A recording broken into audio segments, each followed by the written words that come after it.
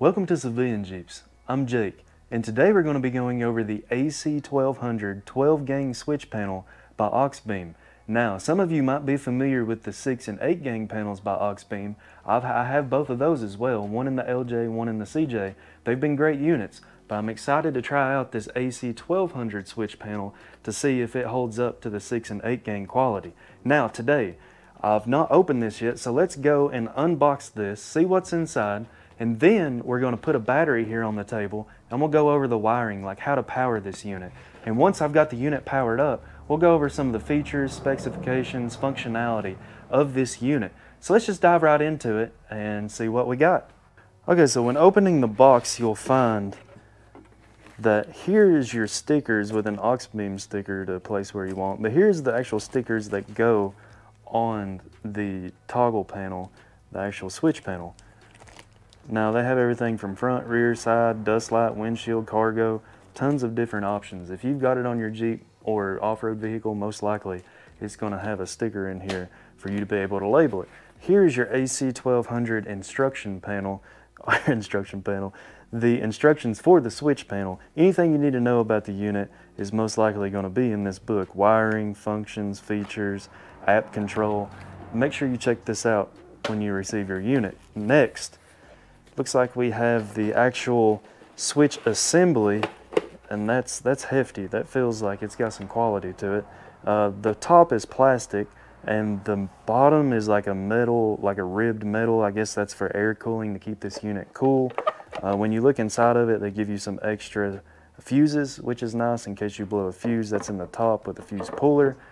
And the actual panel itself now you get two 30 amps, four 20 amps, three 10 amps, and three 5 amp connections. You can see 1 through 12 right here. These are, this is where you're going to put in your different um, connections for the unit, your actual lights and whatever accessories you want to run. Now this up here is going to be where you plug in the switch panel and this is your positive and negative that goes to the battery of your vehicle. This is for the antenna on the remote. But we'll go over wiring uh, next. But however, that is the switch panel assembly. Now, I'm sure some of you have probably seen the remote. I think this is a really cool feature that they've added, especially for what I'm going to be using this panel for. And I'll show you that here in a minute when I'm installing this on. However, as you can see, this panel here, it feels great in the hand. It's a metal construction, nice haptic feedback with the buttons like they have a great feel to them. Now obviously you would put your stickers on what your lighting unit is on the panel itself. But this one, one, two, two, three, three, you can see that this remote is going to be controlling whatever's on this panel. I think within about 150 feet is the range. So next, this is the wiring for your battery. Uh, that's pretty self-explanatory. The wiring for the panel. This is the circuit switch that you're going to put on that basically controls the amount of ampere. It's the on and off for your actual circuit. So this is nice that they add this because you can turn this off with the with the switch, the whole unit that is. Now this is a oh this is a dust cover for the actual panel. Say you're at Jeep Beach and you don't want sand all in your panel, you just put this cover over it and it'll protect the grime and grit that might get into your panel. Now this is, oh, this is the actual mount for the toggle panel and this is your flush mount. Now this one's going to swivel and just wherever you want to mount it. Uh, this one would be more functionality of like where you want to mount it, but this one is just a flat bar. And a little bit more wiring here for your ignition. There's your antenna for the radio to be able to use the remote a couple little zip ties there in the bottom. And there's a sticker saying that the mounting bracket for the switch panel is in the bottom, which it is. You have two different mounting brackets depending on how you want to use this unit. And they're in the bottom of the box. So make sure if you're trying to find it that you look in the bottom of the box. And it does have a sticker right here showing you that it's in the bottom. So that's what's in the box. Uh, nothing too exciting as far as the unboxing goes, but let's go ahead and put the battery on the table and wire this thing up and see what all it has and what all functions it can do. Now that I have the actual unit, the hub, the circuit board wired up, I'm going to show you what I did. This is the hot. There's just one cable that runs all the way to the battery. This is your positive. There's two separate cables because of that switch that I mentioned previously. Put It goes into the switch and then goes out into the battery. Now the next thing is your ignition. That's this wire right here. It goes from here all the way. Now I put it to the battery, which this is a constant hot, but on your vehicle, there's two different types of fuses depending on how new your car is. There's a micro fuse and a standard size fuse. Now this is just an ignition tap. So find the fuse for your ignition and you're going to want to tap into it. And so you have a hot. So what that's going to do is it's going to turn this on anytime your key is in the on position. Otherwise, if you have it hooked up like this where it's just straight to the battery, this panel is never going to turn off and that's going to drain the uh, battery over time if your panel is always on. So make sure that you switch a uh, accessory switch into it for the ignition so that your fuse panel goes off. Now, next, you can see that I've got the radio wire or your antenna wire for the radio that goes for the remote right there. So I got that wired up. And so one more time here, the antenna wire, this is for the panel. It just runs over to here and there's a quick connect right here on the panel. So I got that wired up. This is your ignition, this is your positive, this is your negative, and that's the switch. Now, when you want to add a accessory to it, I've just, now these little LED lights, uh, they're going to be going on what I'm putting this on, which is that tent trailer over there. So this is going to be like a floodlight for me, and this is as well. So I've got these, they don't need a 30 amp switch or a 30 amp relay but I put them on a 30 amp relay just for the sake of this video being one and two on my toggle panel. But you want to look and see what your actual device is rated for as far as amperage, how much it's going to be putting out. Now, if I wanted both of these to turn on and I only wanted them on one, then what I would do is just put both of these, the positive and negative, in and double it up on this relay right here, on this 30 amp, and it easily could handle that. But for the sake of this video to show you the very various features of this toggle panel, I decided to put it as one and two and not put them all on one. Now, the next thing I want to show you guys is just, you know, oh, let's fire it on. There's one, there's two, two's back off, one's back off. I have the remote, one, two. Alright, so a few of the specifications before I go into the features and how to use this panel is the voltage input is 12 to 24 volts, uh, depending on if you have, you know, a normal car is usually 12 volts. A military vehicle is 24 volts, so you can use these on 24 volt military vehicles like Hummers and old Jeeps and all that. The max current is 100 amps. The rated voltage is 12 volt 20 amp, max power 1200 watt at 12 volt, 2400 watt at 24 volt and waterproof rating at IP65. So there's a couple of the specifications that this unit can withstand. Now let's talk about some of the features of this AUXBeam switch panel. Okay, so a couple of the functions of this panel here is, you see how there's no backlight right now? That's because if you hit the mode button, then you can turn your backlight on, hit the mode button again, turn the backlight off. Now say you want to use the functionality of momentary press where you hold this button down and it turns your lights on because this unit has a toggle function which is what it's set up from the factory. Toggle means that turn it on, double click mode, you see how all these are lighting up red, that means they're all on the toggle function. So you hit it, the light comes on, hit it, the light comes on. Now turn that back off. Say you want to do the momentary function which is blue. Double click this, switch it to blue. See both of these up here are now blue hit mode again, what it's going to do is if your hand is on it, it's going to be on. As soon as you take your hand off, turns off, on, off. This would be great for like a horn. See two, I'm holding it right now, take it off, now it's off.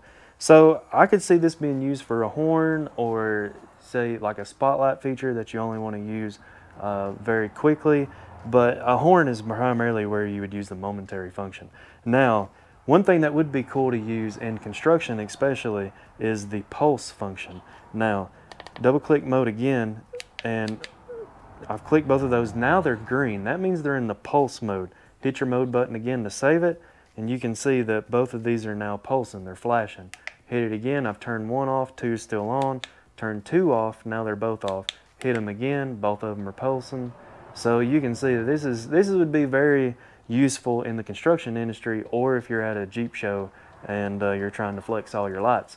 So that's uh, some of the features, but there's a lot more. So let's dive into more of the features that's in this panel.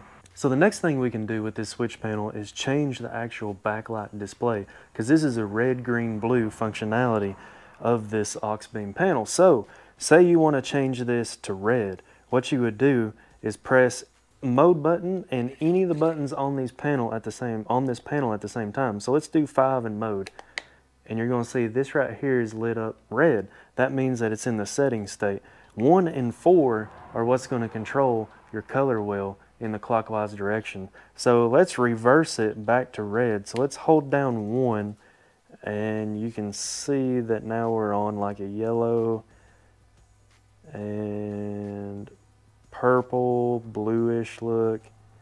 Now we're in like a blue, a aqua, and just keep holding it down to this desired color that you want. Now we're back to yellow, purple. All right, let's go four. Maybe four would go to more of the red. Oh, there was orange, green, dark blue. So there's red.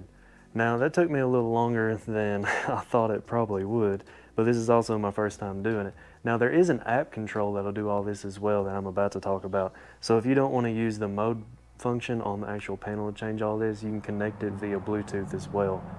Next, I want to show you one of my favorite features of this panel, which is the Bluetooth app control. Now, in your instruction manual, you'll have a QR code. It's on page 11, one for Android, one for iOS. Mine's iOS, so I'm to scan the QR code, click the App Store. It's going to come up with an app called Switch Panel. I've already downloaded it, but you'll need to download. Now, I've already downloaded this because I have other aux beam panels. Now, um, you can see up here, whenever I go to the Bluetooth settings, that my controller 6, 8, and 12 are all here from my other panels. But I'm to turn Bluetooth on. It automatically connected to controller 12 with the serial number, which is on the back of the unit. Now go back. You can see that it is connected. You have your brightness right here that you can control the panel back and forth. You also have your color wheel. This is a lot easier than hitting the mode button. So I'm to set it to blue now. So now I got blue as my primary setting for the RGB. Now let's go to icons. You can actually choose custom icons in your app to put on the different buttons here, but I'm not to do that right now. I just want to show you basically the mode feature. The mode is the same thing what we went over before. You can go in here and tell it what you want it to be. Um, I want to put toggle on one here, so uh, which that's what it is right now, but let's say we want momentary. I've chose two to be momentary, which is the button for like the horn setting. So I hope you guys can see this. If not, uh, I, I wish it could be better, but this is pretty much the gist of how to use the app. But the app is so user friendly that I don't think you'll have much issue using this app. Now the last thing I want to talk about is the group function. Say I want to go up here and edit my group um, and I want to put 1 and 2 together. Now that 1 and 2 is together, I'm going to save that, enter the icon name. I'm just going to call it uh, group 1. For, I'm just going to call it G1. Now hit save. Now, if you'll notice, anytime that, uh, well, I've got this one set to momentary, and or this one to toggle, this one to pulse. So let's go back and fix that. Let's go back to the mode function and change that to a toggle. You see how easy that was? Now go back to group and see when I press that, both of these come on. Now you can also see on the panel that both of these are lit up. So that's going to work out great on my Jeep trailer because I can control these individually, but I also can group them together to turn them all on at the same time if, I, if it need be. So that is an install and overview of the AC1200 12 gang switch panel by Auxbeam. Now, like I've mentioned previously, I have other Auxbeam products, so I know their quality. As far as price goes, they're not the cheapest, but they're not the highest. They're uh, more like middle of the road, but I feel like for the quality that you're getting, the price is well worth the money that you're going to pay. Now, full disclosure, Auxbeam did send me this to do this review for you guys, but I do want to mention that I myself have bought Auxbeam products out of my own pocket. Just because they sent this to me doesn't mean that I'm, you know, trying to fluff up this review. That is not the case. I was going to buy this myself, but I was just uh, fortunate enough to have this sent to me to be able to put on the trailer and I really appreciate Auxbeam for doing that. Now, if you would like a discount code of 15%, you can type in civilian Jeeps. I'll put it at the bottom of the screen here, and that will save you 15% on this Auxbeam AC 1200. Now, overall, I think this is a great product. Tons of functionality, tons of modes. For the price you're paying for this, I really feel like it's something that you need to check out. And I'm going to be installing it on my Jeep trailer and that's going to be at a later video. I didn't want to show you guys the Jeep trailer because I've not introduced it to the channel yet. Um, that's I'm building it on the side and I don't want to go off on a side tangent here but I'm just not ready to show you guys the trailer yet but I wanted to show you this awesome panel and the functionality of it. Now if you have any questions leave a comment below or send me a direct message and you know when it comes to Jeeps keep it classic.